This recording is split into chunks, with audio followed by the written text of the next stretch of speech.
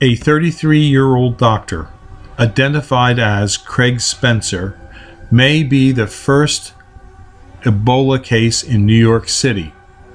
The 33 year old doctor recently returned from the West African country of Guinea. He was rushed to Bellevue Hospital with symptoms of the deadly disease Ebola.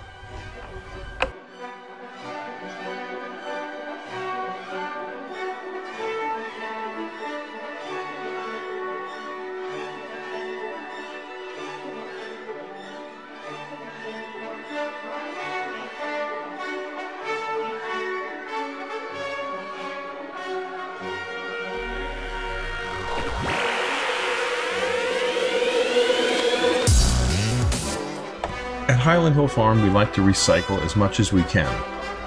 If you have things in your garage or in your barn that you don't want, maybe it's something that we would be interested in. Some of the things that we're looking to acquire right now through trades and barters here at Highland Hill Farm include PVC pipe. We'd like to get a quadcopter so that we can do aerial photography on the farm. We would like hand tools, plumbing supplies. If you have used hunting gear that's laying around or fishing gear, give us a call. We also want well casings, black poly pipe. We're looking for barbed wire and woven wire for some of our fences.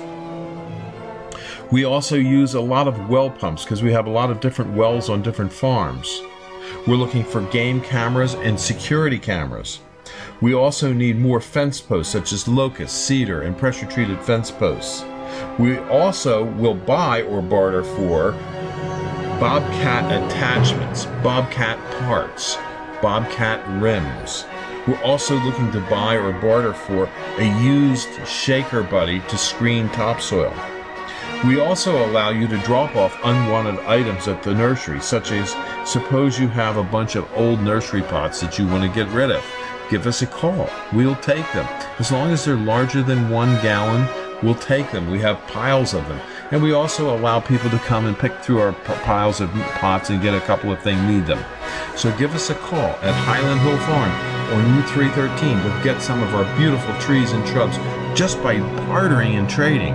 Whoa, you don't need money in America anymore. Barter and trade at Highland Hill Farm. Thank you.